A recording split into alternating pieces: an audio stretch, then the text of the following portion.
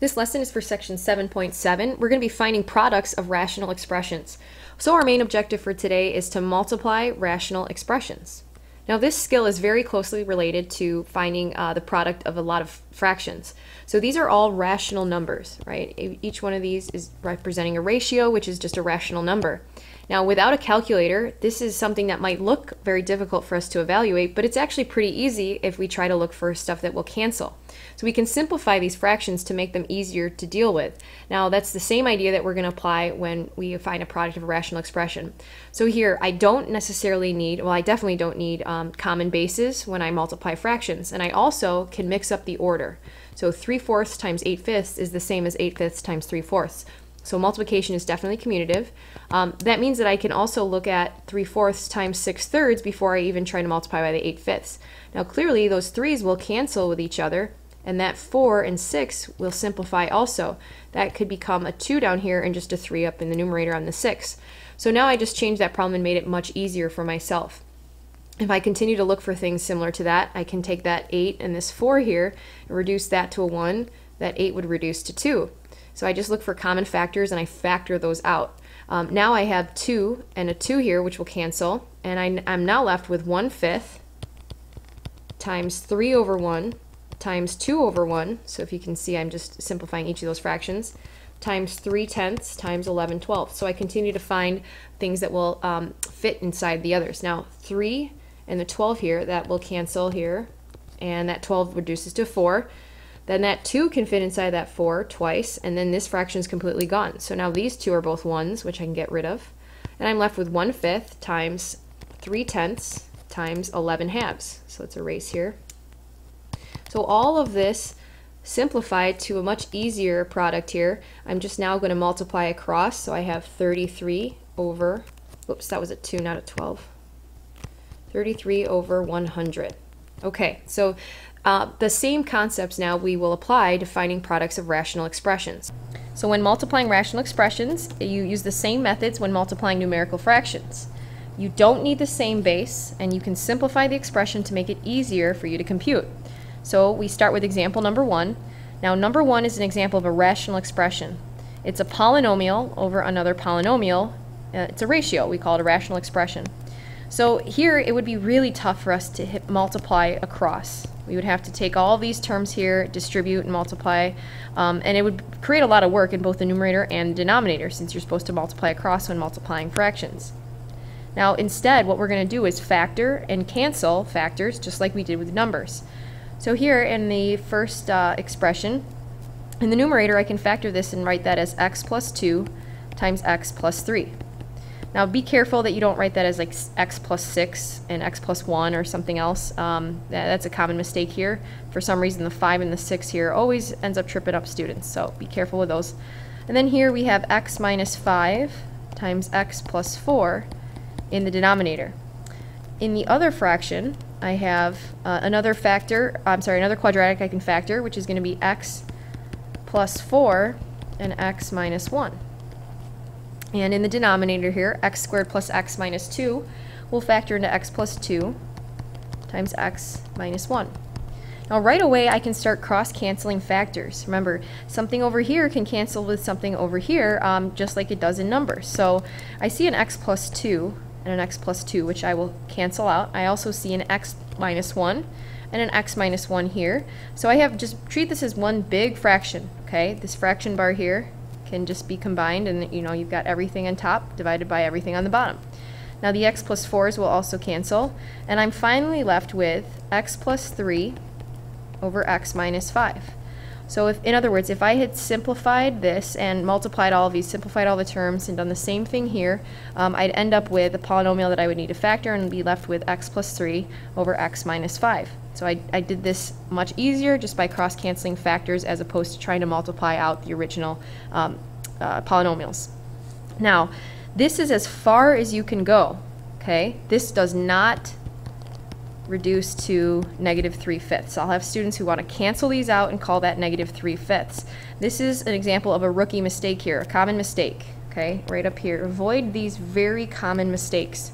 I'm sure at least once you're going to end up doing something similar. So make sure you understand that 4 over x plus 4 you can't just uh, cancel out those 4's and call that 1 over x. In order to cancel something, it has to be a factor.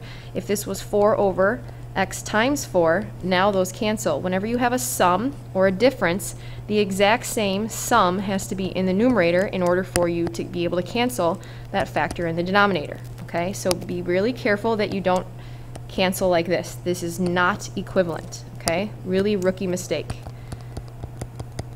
Okay, now x squared plus 4 over x also doesn't just turn into x plus 4.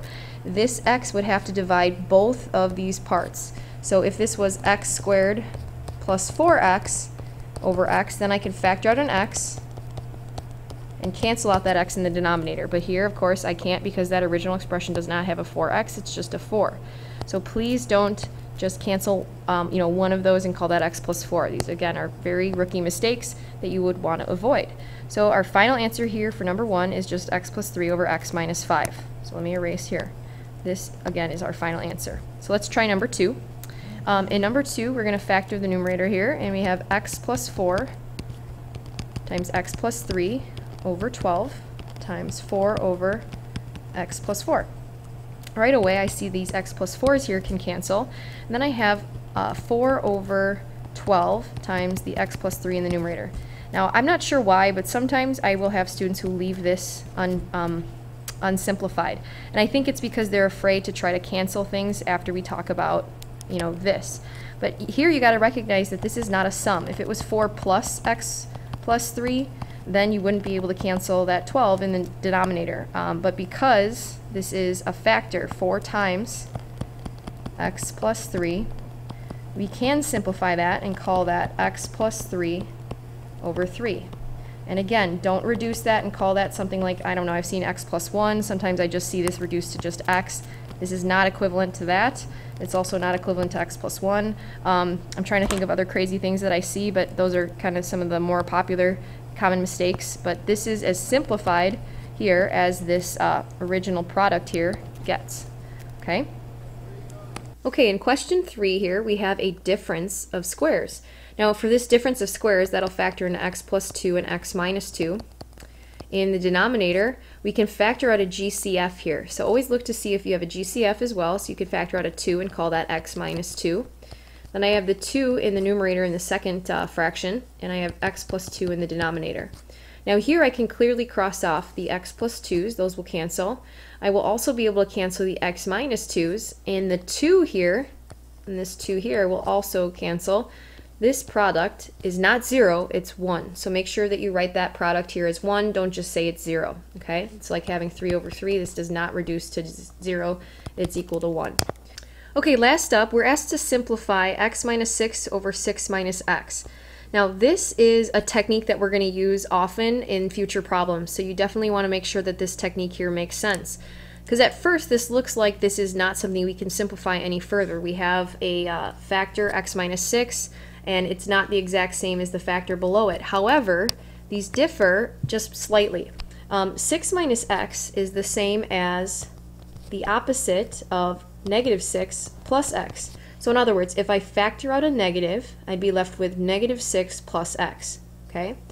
So really, this negative 6 plus x is the same. If I just rewrite the order here, I can write that as x minus 6. See how my x is positive, my 6 is negative. So this is equivalent. So now I have x minus 6 over negative x minus 6. So these will cancel leaving me with negative 1. So if I want to write this here as negative 1, those are equivalent. So real quick, I'll do one more example here. Let's say I had 7 minus x over x minus 7. This is something where I recognize them to be very similar to one another. I would want to factor out from the numerator here a negative 1. If I factor out a negative 1, I have negative 7 plus x. Okay, and I can then rewrite that as negative 1 times x minus 7. And now those two factors would cancel and the product here, or the quotient, would be negative 1. Alright, so this is a technique, like I said, that you'll want to use often um, in future problems, so make sure you're comfortable with it. That's the end of the lesson. It's a short one, so I'll see you guys in class and uh, get ready to do some work. Nice job. See you tomorrow.